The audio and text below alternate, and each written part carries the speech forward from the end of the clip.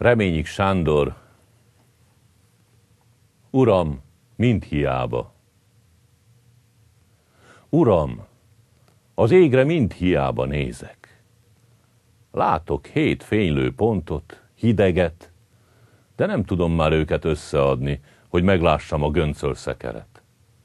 A régi, kedves göncölszekeret. Nem érzek égi széna illatot, és magamba is mind hiába nézek, ki régen tükröztem még csillagot. Ó, szörnyű ez!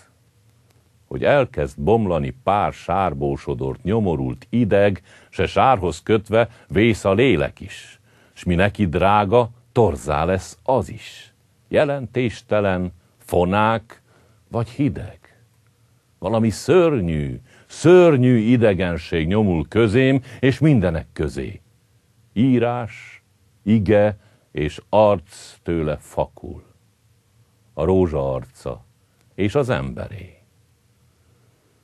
Mintha hínár borítana el tavat, s a tóba egyre szűkebb résen áthatolnának be a tiszta sugarak. Csak hínár, zűrzavar és gyötrelem. Hát ez a pár sárból sodort ideg, hát ez lett volna nekem mindenem. Ha elborít majd végképp a hínár, mit ér tudni, csak én vakultam meg, igazság, jóság, szépség éppen áll? Uram, az égre már hiába nézek. Inkább behúnyom fáradt szememet, és néha-néha hínár közt is.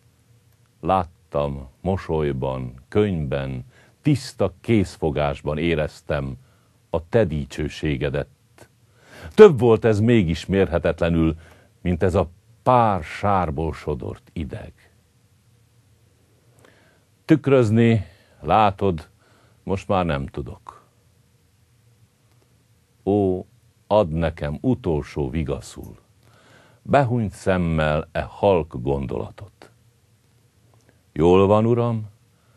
Hát lelki vak vagyok. De vak tavak és vak lelkek fölött a csillagok mégis csillagok.